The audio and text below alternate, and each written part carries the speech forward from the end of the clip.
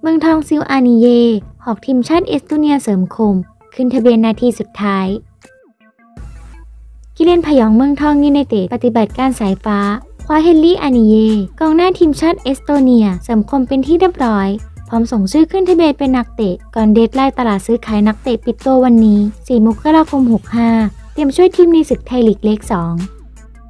อานิเย่ร์วัย 31 ปี มีดีกรีเป็นนักเตะทีมชาติเอสโตเนียชุดใหญ่ สั่งสมประสบการณ์การค้าแข้งมาแล้ว อย่างโชคโชน ทั้งในบ้านเกิดกับฟอร่า นอร์เวย์ กับไวกิ้ง เยอรมนี กับสโมสรเอสเกเบเกอัลสกอตแลนด์ กับมาเธอร์เวล ดันดียูไนเต็ดที่เบอร์เนียน อินเวเนสทิเซล ที่สวีเดน กับคันมาร์กที่ฟินแลนด์ กับ FC ลาติที่เกาหลีใต้ กับซูวัน FC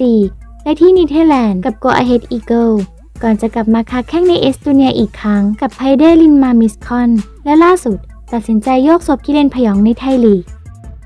เจอยิงจอมแก่ง ซึ่งผ่านมาติดทีมชาติเอสโตเนียมาแล้วทุกระดับ ตั้งแต่รุ่น U17 U19 U21 U23 และชุดใหญ่ ฝากผลงานยอดเยี่ยมกับไพเดลินนามิสคอน ด้วยการตะบันไปถึง 34 ประตู